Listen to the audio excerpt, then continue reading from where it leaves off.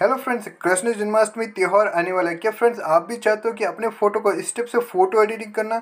जी हाँ बिल्कुल पॉसिबल है। चैनल पे नहीं तो चैनल को कर दिए सब्सक्राइब सबसे पहले आपको अपना खुद का फ़ोटो ले लेना है। फ़ोटो लेने के बाद फ्रेंड्स आपको क्या कर देना है? यहाँ पे इफ़ेक्ट वाला एक ऑप्शन मिल जाएगा।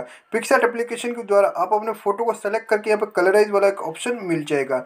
कलराइज वाले ऑप्शन में आपको क्या कर देना यहाँ पे फोर्थ प्लेट सेलेक्ट कर देना ह्यूज का जो ऑप्शन है, वो आपको यहाँ पे इंक्रीज कर देना है। इसके बाद क्या करना आपको सारे फ़ोटो को यहाँ पे चेक कर देना है।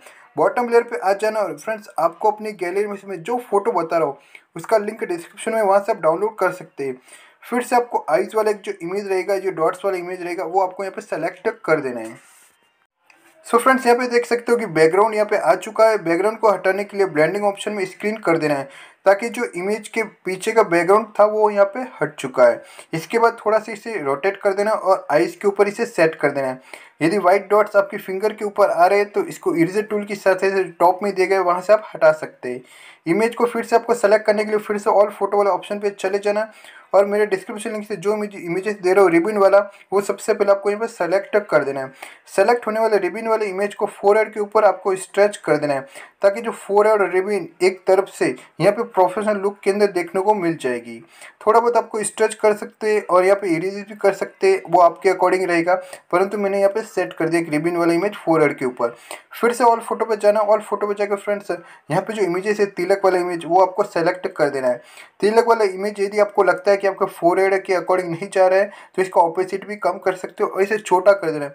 बहुत ही महीन करके आपको फोर एड के ऊपर यहाँ पे सेट कर देना है। देख सकते हैं कि प्रोफेशनल फ़ोटो एडिटिंग हो रही है चैनल पर सब्सक्राइब कर दीजिएगा।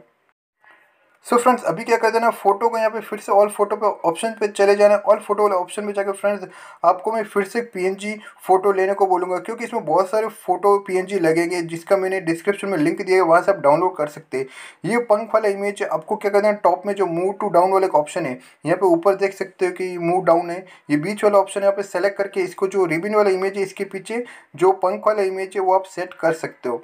फिर से ऑल फ़ोटो वाला ऑप्शन पे जाना ऑल फ़ोटो वाले ऑप्शन में जाकर फ्रेंड्स आपको यहाँ से कान के अंदर जो बाली है, जो कृष्ण भगवान की लगाई जाती है उसी का एक इमेज मैंने पीएनजी इमेज के रूप में कन्वर्ट किया है। वो आप छोटा करके कान के नीचे वाले हिस्से में लगा सकते हो। आप लेफ़्ट और राइट यदि आपको फ़ोटो दोनों जगह पर दिख रहा होगा लेफ़्ट राइट में भी सेट कर सकते हो।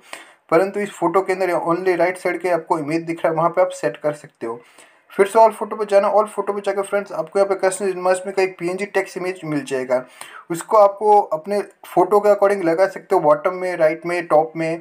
ये सब जगह भी लगा सकते हो, परंतु यहाँ पे जो स्पेसिंग दिख रहा है टॉप राइट साइड में यहाँ पे देख सकते हो कि स्पेस हमको खाली मिल रहा है तो यहाँ पे मैंने सेट कर दिया।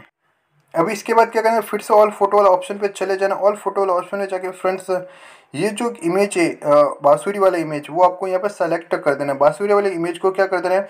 ये इमेज को आपको थोड़ा रोटेट कर देना है और जो बंदे इसके मुँह के ऊपर यहाँ पे कुछ स्टेप से सेट कर देना है। ये बहुत ही महीन काम है फ्रेंड्स ध्यान ध्यान से कीजिएगा। इस टाइप की प्रोफेशनल फ़ोटो एडिटिंग हो रही है फ्रेंड्स वीडियो को ज़रूर से ज़रूर शेयर कीजिएगा। फ्रेंड्स आप भी अपना फ़ोटो इस टाइप से बना सकते हो और अपने फेसबुक के ऊपर और व्हाट्सएप के ऊपर लगा सकते हो। फिर से ऑल फ़ोटो पे जाना ऑल फ़ोटो पे जाकर फ्रेंड्स यहाँ से मैं एक पीएनजी इमेज ले रहा हूँ। वो आप यहाँ से आप डाउनलोड कर सकते हो। ये पीएनजी इमेज शेडो पी है जो यहाँ पे जो बैकग्राउंड इमेज है, इसके ऊपर यहाँ पे सेट कर दिया जाएगा। अच्छा से यहाँ पे लुक का प्रोफेशनल लुक देखने को मिल रहा है। सो फ्रेंड्स इसके अंदर यदि ग्लो इफ़ेक्ट चाहते हो तो एफेक्ट स्टोर में जाके एच डी आर यहाँ पे कर सकते हो और एच डी आर का यदि वैल्यू ज़्यादा हो जाए तो इसको कम ब्लर ब्लर अंश को थोड़ा बहुत कम कर सकते हो। कैसा लगे वीडियो कमेंट करके चैनल पर नहीं है तो चैनल को कर दिया। Subscribe thank you friends